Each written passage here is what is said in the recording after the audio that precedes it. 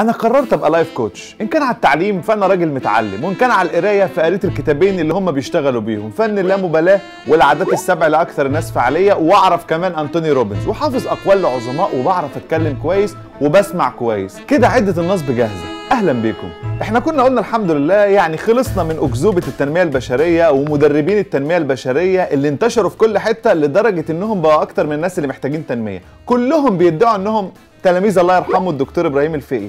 والناس عرفوا طبعا إنهم شوية نصابين وبياكلوا عيش. راجل نصاب بلفني دماغي في دقيقة. فجأة كده طلع لنا تطور جديد وهو ال life coach اللي هيعلمك إزاي تنجح، إزاي تحل مشاكلك، إزاي تحب، إزاي تبقى مليونير، إزاي تبقى شاطر في المدرسة، إزاي تعرفي تربي عيالك، إزاي تعمل الكنافة بالمانجا، هيعلمك حاجات كتير جدا، حاجة كده فخفخينة يعني بتاع كله. اللهم صل على حضرة النبي. أنت جبت المعلومات دي منين؟ خلونا نبقى متفقين إن ال life coach دي سبوبة العواطلية الجديدة، شغلانة يعني اللي ملوش شغلانة. ال life coach هو مدرب حياة. هو في أحلى وأسهل من إن أنا أقعد أسمع حد وأسمع مشكلة حد ويدفع لي فلوس في الآخر؟ ما أنا لازم أسمع. ما أنا هاخد فلوس. أسمع بقى. أعالجك بقى. أحل مشاكلك. دي بقى خليها للظروف. بتبدأ نتكلم معاه. مرة يحاول يتكلم ومرة لأ. بتحاولي آه، تدخلي معاه دواخل اللي هو بيحبها يعني. لو ال client بيحب ال PlayStation العب معاه. بيحب البحر بلبط وياه. اديله الثقة. لو حس إن انت بتثقي فيه هيثق فيكي إحنا بدل ما هنعالجه هنخليه يرتبط بال life coach بس هما بتوع ال life coach دول خريجين إيه؟ المدرستين الموجودين في مصر. هما ال ICF وال Meta Coach اتخرجوا من جامعة إيه؟ المشكلة إن المدارس كتيرة جدا. بص لو عاوز تبقى life coach هات ورقة وقلم واكتب ورايا. أو وراها اكتب. في centers بتدي كورسات مصغرة من ال ICF وال Meta Coach الكورسات دي مثلا بتبقى ب 1000 وب 3000 ونص مثلا بتفتح لك مجالات. انت بقى شوف الطريقة اللي تعجبك والمدرسة اللي تريحك روح ادرس فيها. شايف الجمال؟ شايف بيبسطوا لك الدنيا إزاي؟ يعني عادي سهل جدا تبقى life coach يعني ممكن كلنا نبقى life coach وأهم حاجة في ال life coach الكراسة عشان ما ينساش. نشوف عشان أنا مش فاكرة. الشخصي بيعطيك كامل الاهتمام. ما هو يعني ادفع له فلوس وما يهتمش بيا يعني دي تبقى حاجة صعبة قوي يعني دفعت فلوس ومش مهتم بيا كمان. نسيني ليه؟ ما هو انت لازم تحدد مستقبلك في ال coaching انت عايز إيه؟ عايز تشتغل في center coaching ولا عايز تبقى نصاب كبير؟ لازم تحدد. من البداية كده لازم نبقى واضحين. هل ال coaching بيجيب فلوس في ثلاثة options ثلاثة أول حاجة إن هو يجيب فلوس كتير جدا وينقلك نقلة فظيعة. تاني حاجة إن هو يجيب على قد اللي أنت عايزه. تالت حاجة إن هو ما يجيبش خالص. تقريبا كده الموضوع ملوش علاقة خالص بالعلام. هو يعني فهلوة اجتهاد شطارة حداقة. الناس اللي بتدي هنا وده الناس اللي بتدي هنا. آه أنا أختار أنا واحد فيهم بقى ده على على الميزانية بتاعتك وعلى أنت بترتاح لمين أكتر.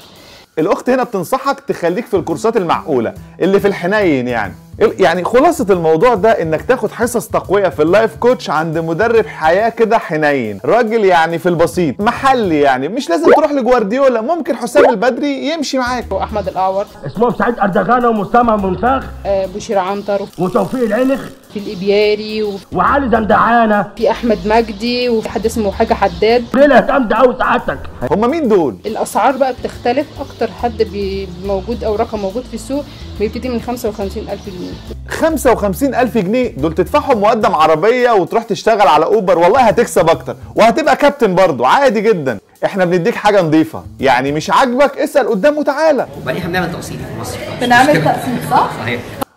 شوف الجمال ممكن يقسط لك كمان. يعني بص هتبقى life coach وهتقسط والعملية تبقى ماشية. والله انت راجل محترم. وفي كمان حصص تقوية كده دي ممكن برضو تساعدك. تبقى life coach يعني صغنن كده يعني حنين تشتغل في المنطقة بتاعتكم يعني. هي جمعية ودايرة. يتنصب عليك النهارده وبعدين نعلمك إزاي تبقى زينا وترجع فلوسك قدام. عادي يعني الدنيا ماشية. الفكرة إن ال life coach ده عنده مشكلة إنه بيبسط المشاكل والأمراض النفسية. اللي أحيانا بتكون محتاجة متخصصين. المفكر اليوناني سفوخسيوس قال إيه؟ قال من كان قادرا على الانتحار فليفعل ذلك في التو. كل الموضوع عشان ياخد فلوسك.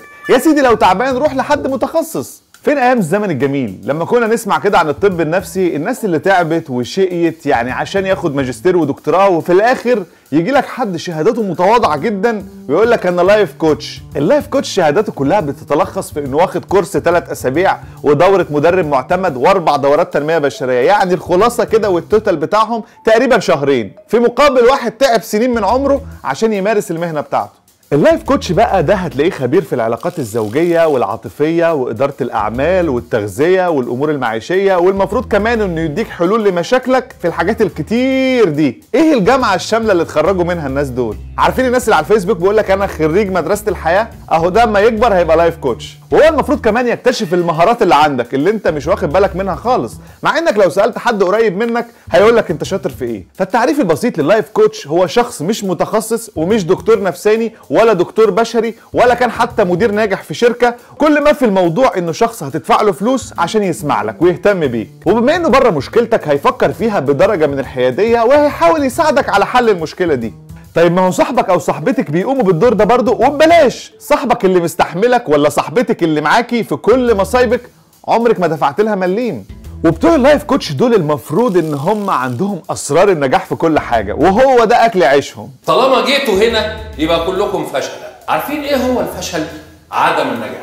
أسوأ حاجة إننا نتخيل إن النجاح في الحياة والوصول للثروة هو سر غامض ما يعرفوش غير بتوع ال life coach. والله هم لو كانوا عرفوه كانوا فادوا نفسهم. الكلام اللي بيكتبه في كتبه يخليك تروحي في عالم تاني على طول. والكتب اللي بيعتبروها مراجع ليهم هي مجرد أفكار لكن مش قوانين واللي ينفعك ما ينفعش غيرك. وكل مجتمع له ظروفه وله قوانينه.